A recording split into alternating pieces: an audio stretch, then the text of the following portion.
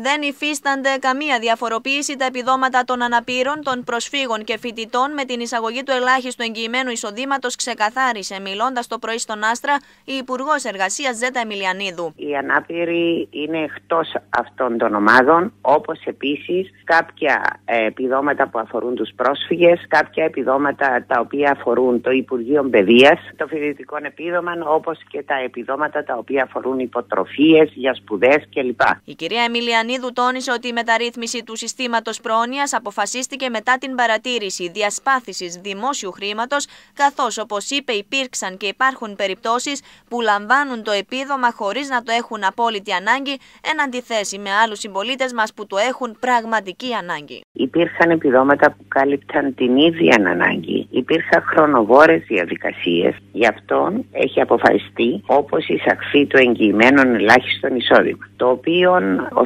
στόχος είναι να εγγυηθεί την αξιοπρεπή διαβίωση των συμπολιτών μας και αφορά εκείνους όλους οι οποίοι δεν μπορούν να παρέχουν στον εαυτό τους και στην οικογένεια τους τα απαραίτητα προς μία αξιοπρεπή διαβίωση. Η Υπουργός Εργασίας σημείωσε ότι αυτή την περίοδο οι αρμόδιοι φορείς βρίσκονται στην διαδικασία κοστολόγησης των ποσών. Αυτή τη στιγμή είμαστε στο στάδιο της κοστολόγησης αυτών των ποσών. Έχουμε ήδη προχωρήσει στον καθορισμό του ελάχιστου καλαθιού της νοικοκυράς. Δηλαδή το καλάθι που περιέχει την διατροφή, την ένδυση, την υπόδηση, των ηλεκτρισμών, όλα εκείνα που κάθε άνθρωπος στον τόπο μας ξοδεύει για να ζήσει. Η νέα πολιτική θα τεθεί σε εφαρμογή την 1η Ιουλίου του 2014. Η Υπουργός Εργασίας τόνισε ότι είναι επαρκή τα ποσά που βρίσκονται στον προπολογισμό για κάλυψη αυτών των αναγκών. Να πω ότι ο προπολογισμό του 2014 είναι αυξημένος κατά 126 εκατομμύρια